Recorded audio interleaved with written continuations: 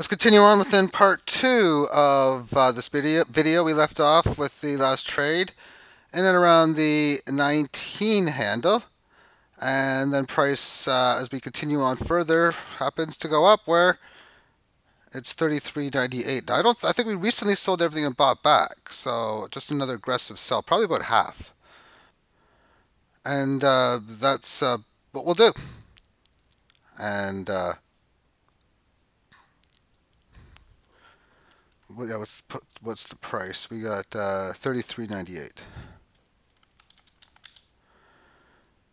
So we own uh, on uh, which one are we? Should we do it in this direction? Wrong side.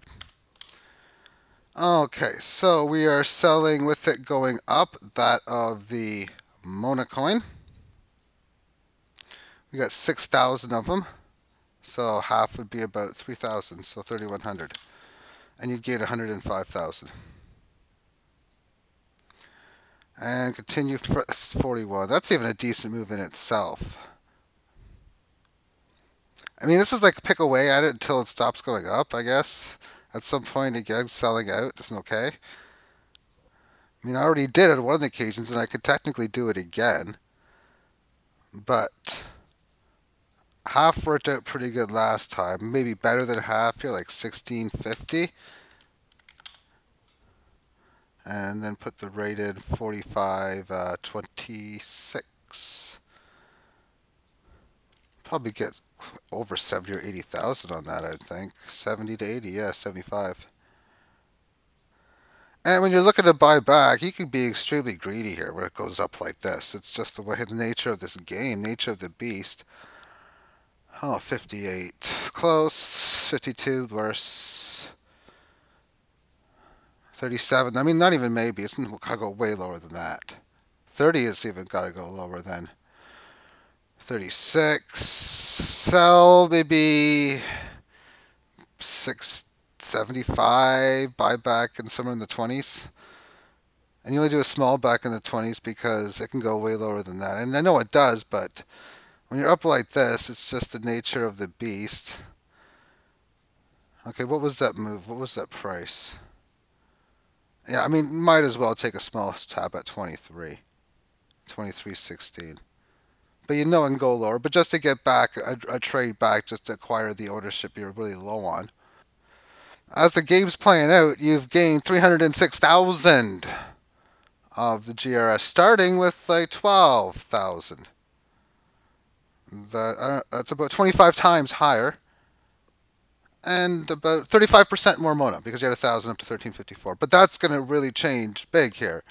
As that GRS number will go way lower, the Mona will go way higher with the trade. How many do you want to uh, get back now? We're selling the GRS side. You accumulated 74,000 last time.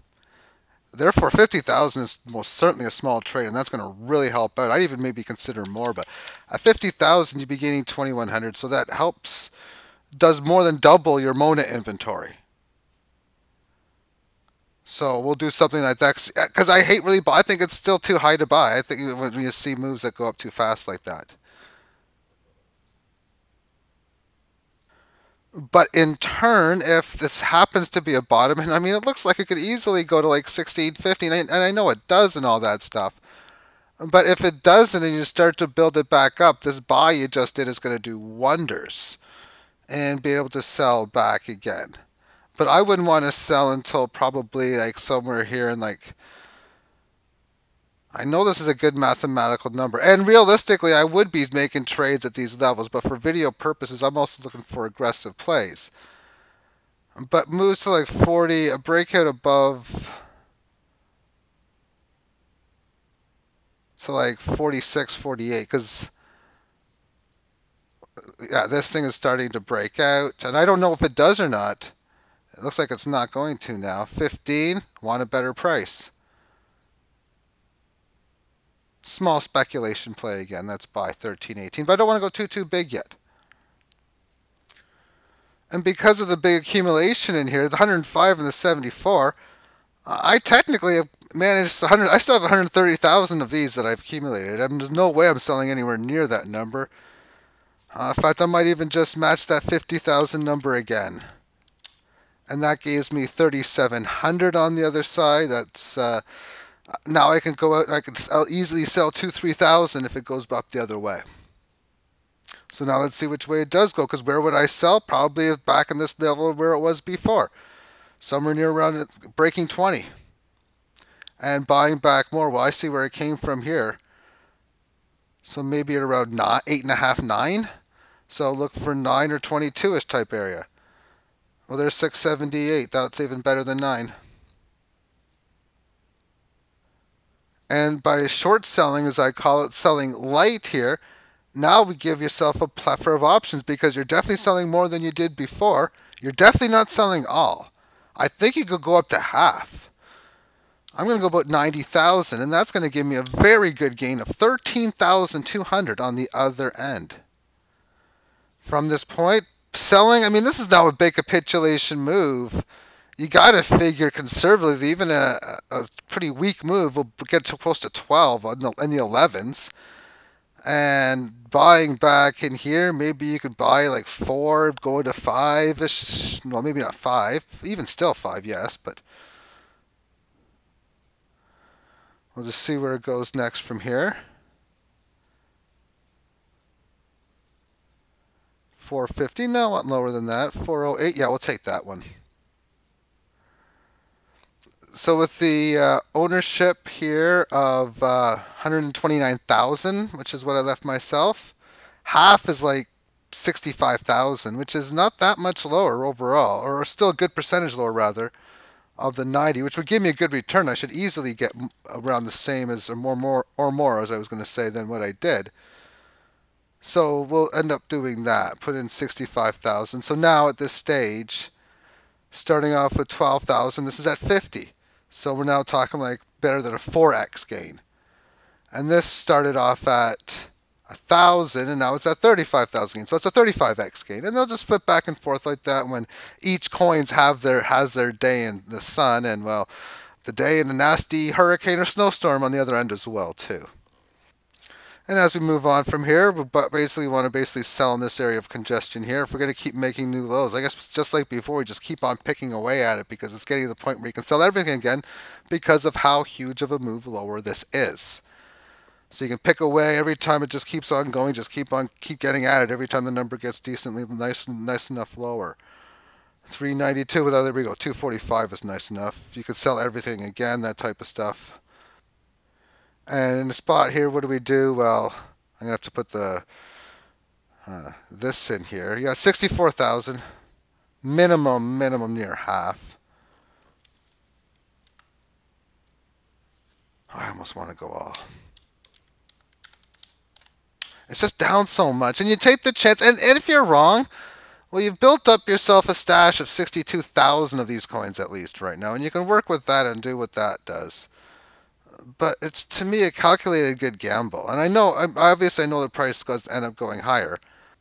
Uh, but let's let's look at it this way. Yeah, maybe you're buying a coin that's on its way to nothing, and that that can work out. And in reality, I'm going to be talking about profit taking at different sides, which would be the second half of this when we get to uh, end of January 2018 uh, as a planned subject matter. But if it happens to go to like one, well, then you're just going to have to suck it in. And you realize it could go to one and then back up to six, and you just get back in the game anyway. Uh, I'd want to get a little bit back in again on maybe a move to like four this area here on 405. Maybe make a small make a small trade. Oh, 399. Why not? And what we can do is we could just take, really, we got $4 trade down to 245 We're pretty much back to where we came from here. So in that situation, if I look at this, I've accumulated 62,000 of these things, just a sick ass amount. 20,000 means I'm profiting 6,000 from the other side, and I still have 79,800 more. So now I got some room to work with if it goes back the other direction now. Because just as I said here, I thought it'd go much lower, and oh boy, would it ever. I'd same thing here. This can go much higher 12, 16, 18. Who knows? The volatility, of course, being sick, and there we see it. We have a little bit of a gain. I want a bit more. I probably want to see it go nicer in this range, closer to 7, I think. And you can see maybe might miss out. And yep, see what happens. If I sold it, I could have just took it back there. That's part of the gamble in this game. And because I don't got too much inventory, I just bought it. I wouldn't really want to get until a break of this support. I don't think I'd want to buy it, sell until it goes to like 170 or something. Uh, and then it's just since I'm waiting for a bigger number, let's just wait for something to happen and can it break past that resistance? It's barely trying to there, but no. Now it goes back down. Missing out on more missed opportunities, but missed opportunities are fine. Oh, that was close to getting to nine and change.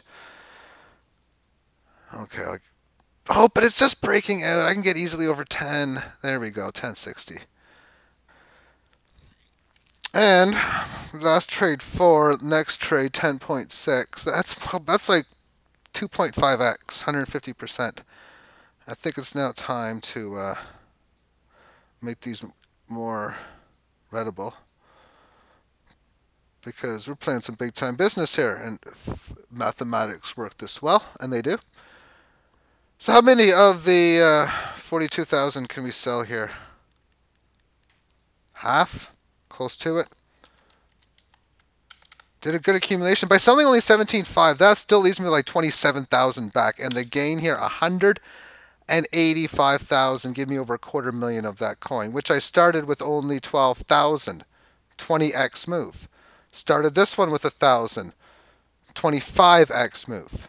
How do you do? And in reality, you can wait for 12, 14% moves, pick out way out of them, and then when the 30, 40, 60, 200% moves come, take them.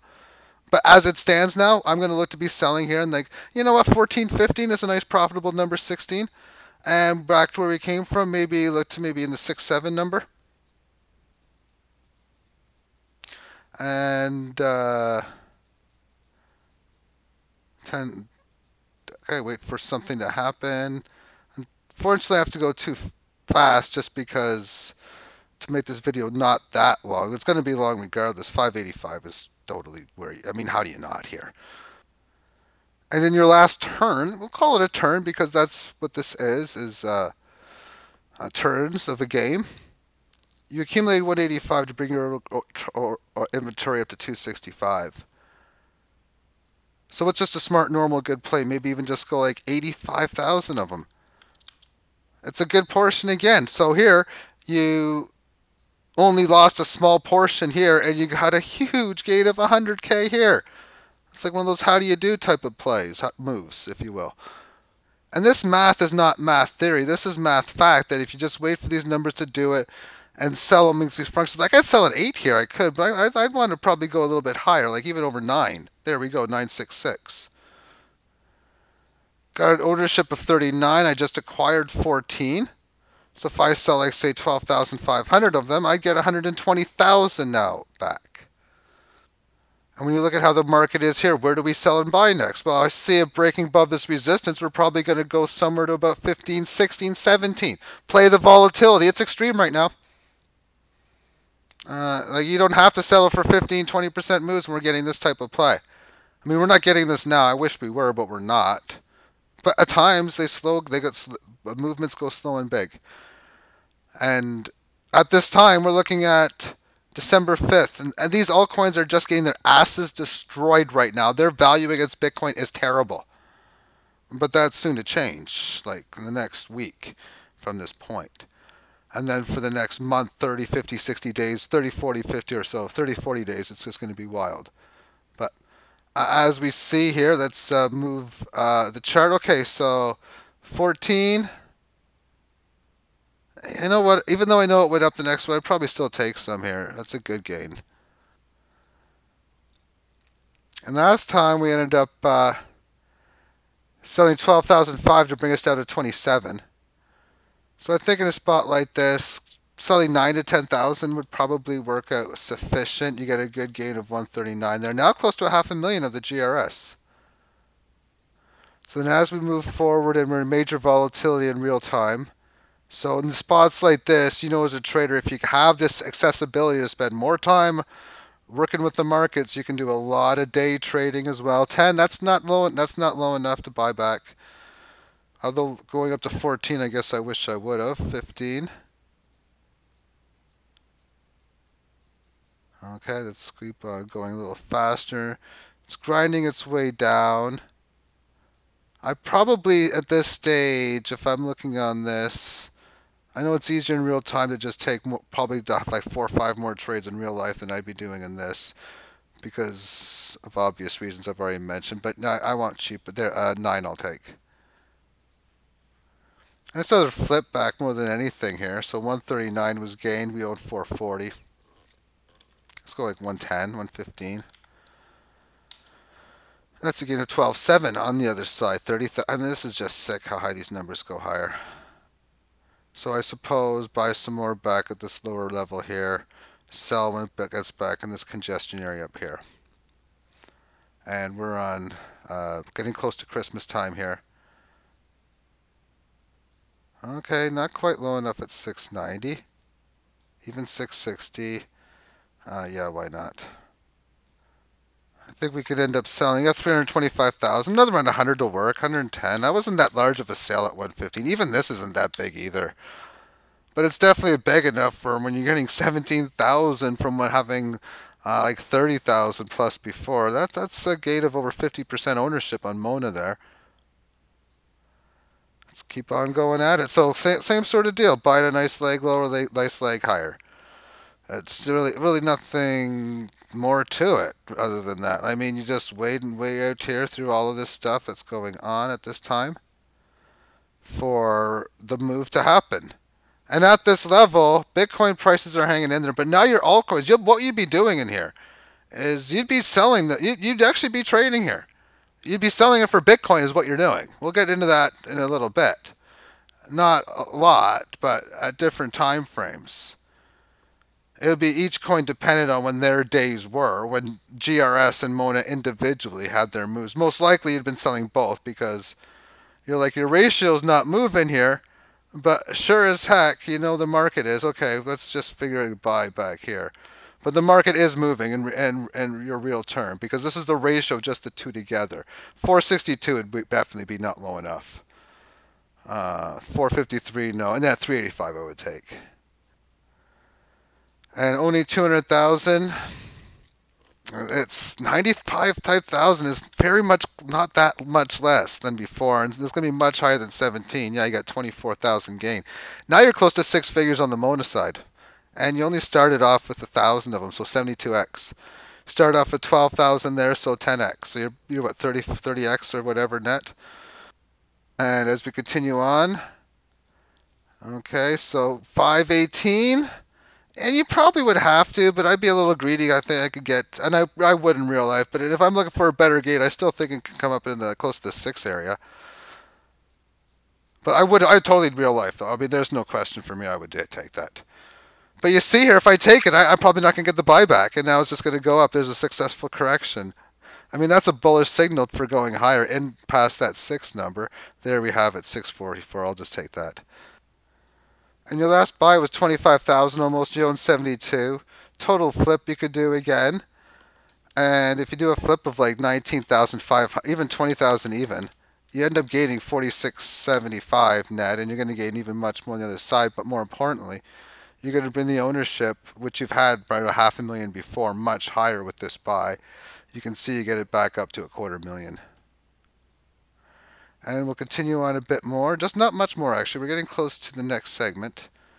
Definitely not low enough for the buyback yet. I'd be I'll be looking maybe like four and change maybe, and then on the breakout higher, definitely well above eight, nine, probably even minimum. Nice setup to go higher too. But I'm only going to do a bit more here, and I might not even make another trade. I'm really going to about January 25th. That's really the time frame I'm going to about the because that's when the markets were in the area of, and, and we'll, we're done.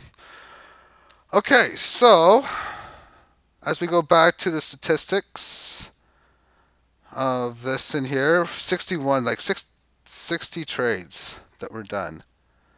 The net gain of GRS was that of about 20 times. The net gain here was about uh, 50 times. So overall, about 30 to 40, 33, 35 times gains of ownership of the coins. Now, why this data is important is because of how the markets moved. As I said at the beginning of part one, that in December the altcoins were getting the asses kicked, and they just picked up right around December uh, 10th, 12th, all the way to about January 10th to 30th or so. So let's take a look at what both of these coins look like against the dollar at that time.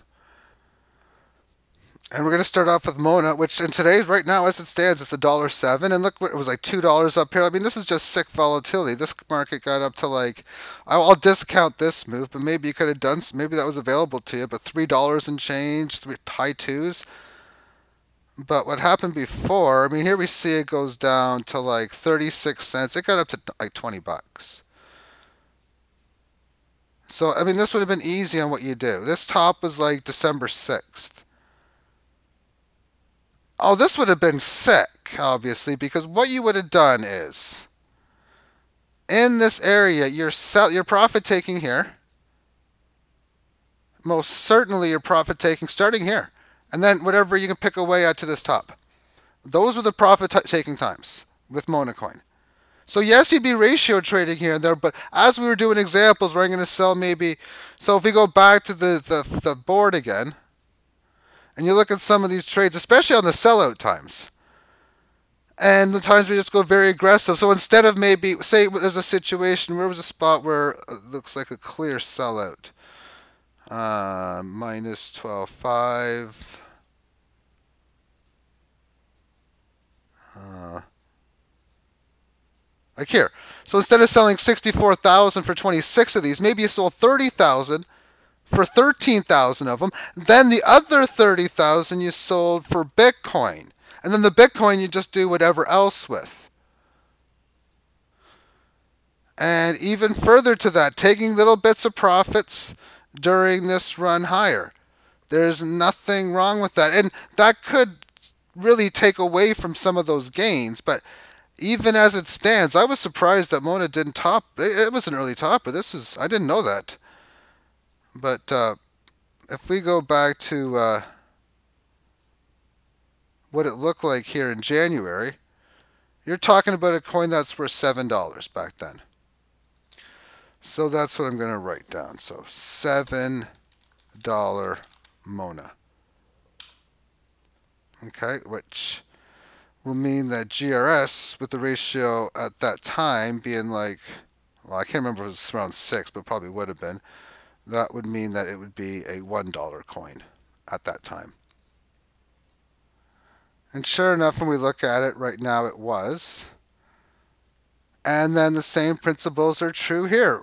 Profit take and the end of October, maybe at this top. If you miss this top, you got a second chance, which you do so around December. Now, this was odd.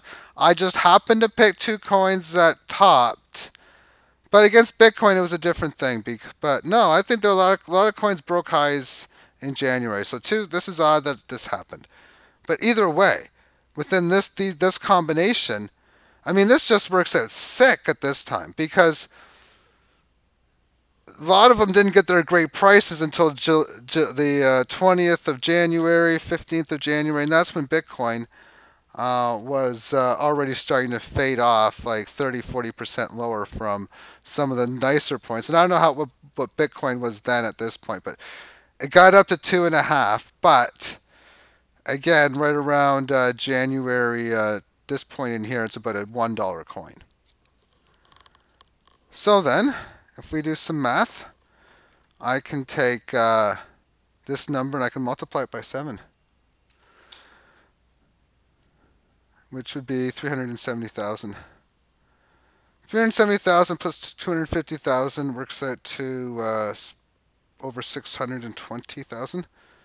So more than a half a million dollars is what this would be worth at that time. And it would have been worth a little more a few weeks before then. And of course, it'd be worth a lot less. No, I don't know about that. I mean, you could continue ratio trading this. Oh, you'd be easily getting this number well over a million if you could, we keep going at it. If we, we don't just do any profit taking, because there are some wild swings on the GRS that Mona that kept on going there after the fact. But and then of course amongst this 300, you might have ended up paying maybe five, ten grand in fees on the, maybe even less. So who cares about calculating fees because you know they're just going to be a small sequential part of it. And I started this back in like 20. This game like was back when this was 0.002. So one fifth of a penny GRS was to start.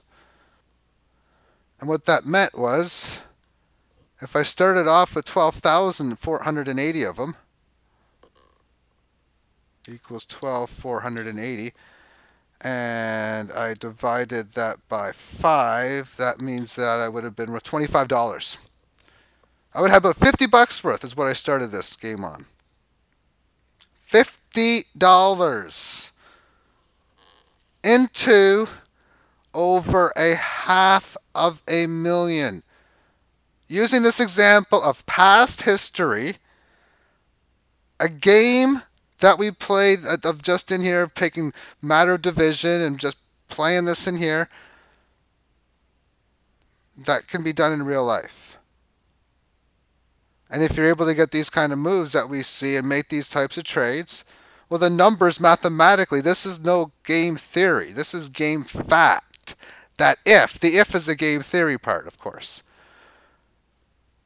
that the results will work amongst this mannerism. Now imagine if I just kept on, if you think about it, on a mathematical level, I mean, this is where at some point it just gets out of hand sick.